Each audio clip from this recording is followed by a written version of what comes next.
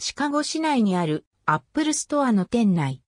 ニューヨーク市内の旗艦店であるアップルフィフスアベニューアップルストアはアップルによって運営されている直営の販売店及び技術サポート拠点である。2001年5月15日、アップルは全米で25店舗の直営店を2001年中にオープンすることを発表し、同年5月19日に最初の2店舗がバージニア州マクリーンのタイソンズコーナーとカリフォルニア州グレンデールのグレンデールガレリアにオープンした。開店2日目で2店舗を合わせて来客数7700人を突破し、売上は合計59万9000ドルに達した。1999年、スティーブ・ジョブズ主導のもと、当時の取締役、ミラード・ドレクスラーの助言と、小売店担当上級副社長、ロン・ジョンソンの監督により、アップルストアの初期の計画は進められた。なお、全直営店面積と売上をそれぞれ合計し、1平方、フートあたりの売上を算出して比較した場合、その面積売上はアメリカにおけるどの小売店の売上よりも多く、2位のティファニーのブランドショップの倍以上となる。店舗の建物はショッピングモールの中にテナントとして入ったり、路面店としても存在する。店舗の大きさやデザインは様々で特徴のある作りとなっているが、どの店舗も売り場とともにサポート拠点としての機能を持つほか、Today at Apple セッションが行われている。かつてはジーニアスバーカウンター、トレーニングの場としてザスタジオコーナーがある店舗も存在した。ザ・フォーラムボードリウム50店舗以上21、50店舗11、20店舗60店舗25店舗1店舗建設。計画中2020年9月現在、271店舗が営業している。アップルミニストアはサンフランシスコに拠点を置くコラボレーティブデザイン事務所エイトインクによって設計された。日本では、かねてより、インターネットと電話による直販を行っていたが、アメリカ以外では、初の直営店となる、銀座店を皮切りに、各地にオープンしている。各々の店舗では、連日テーマに基づいた情報や tips が得られる、無料のワークショップが開催され、また、有料の実践型講座スタジオシリーズも行われている。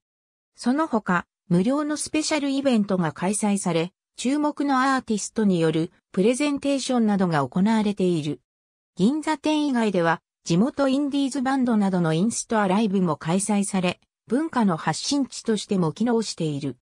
銀座店では、外国人観光客、Mac ユーザーに対応するために、日本語以外に、英語、中国語、タイ語、韓国語、イタリア語、フランス語、スペイン語、ポルトガル語の10カ国語を話す多言語対応スタッフが配置されている。また、京都店は12カ国語に対応するスタッフで構成されており、その他の店舗にも英語などの数カ国語の外国語を話せるスタッフが配置されている。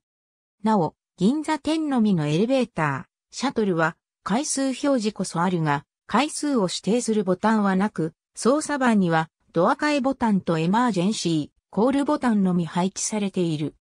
札幌店は入居していたビルが再開発で取り壊されるとされたため、2016年2月26日に閉店したが、より利用しやすい場所で再び開業したいとし、移転先を探して再開を目指していることが明らかにされている。また、2017年1月現在、移転先及びオープン日は未定のままである。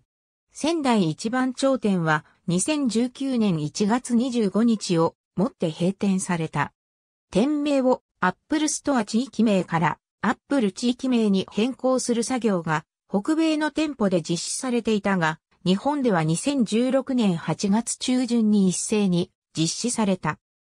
建物日本の Apple ストアでは2014年開業の表参道店と2019年開業の福岡店が独立店舗として独自にデザインされた建物であり、2005年開業の福岡天神店と2018年開業の京都店がビルの建設時に入居を前提にデザインされた店舗であり、その他は既存建築物の柱や床を抜くなどの大規模、改修工事によるデザイン変更した建築物である。